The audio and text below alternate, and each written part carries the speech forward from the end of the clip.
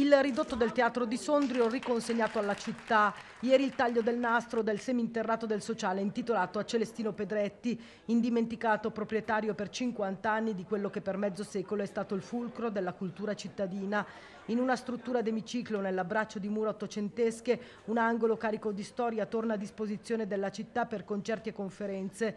Il taglio del nastro affidato alla figlia di Celestino Pedretti, Pupa, che ha ricordato emozionata il padre e l'impegno portato avanti con la sorella Carla, i figli e i nipoti per consentire il ritorno a nuova vita del ridotto. Celestino Pedretti è stato, pur nella sua breve vita, una figura preminente nella vita sondriese. Dovunque ci fosse una manifestazione, lui c'era. Se c'era qualche persona che aveva bisogno, ricorreva a lui. Cosa ha provato questa sera quando ha tagliato il nastro?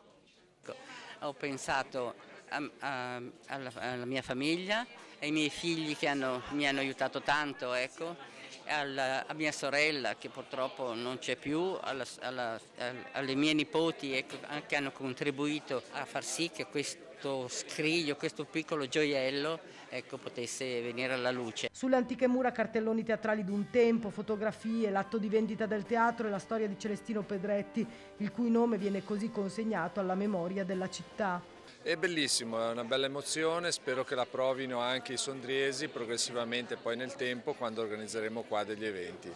Stare qui è meraviglioso, queste mura raccontano veramente la nostra storia, le nostre radici. È vero, queste mura parlano, ci raccontano della storia di questo teatro, è un'atmosfera veramente affascinante. Quanta storia c'è in questo ridotto? Beh, sicuramente tanta, nel senso che eh, era nato come magazzino, diciamo deposito del teatro, perché appunto era un interrato, poi nel 2010 quando abbiamo avviato i lavori principali del teatro abbiamo scoperto queste murature e con l'amministrazione è stato deciso di farne una sala pubblica. Gli eventi possono essere di vario tipo, può essere utilizzata come una sala conferenze, come so, per la presentazione anche di libri oppure per degli incontri aziendali può essere utilizzata come sala da concerto ovviamente per un numero limitato di posti perché eh, per ragioni di sicurezza non ci potranno stare più di 92-93 persone. Al termine dell'inaugurazione tributo musicale emozionante da parte della band Balm al basso elettrico il nipote di Celestino Pedretti, Andrea Balgera.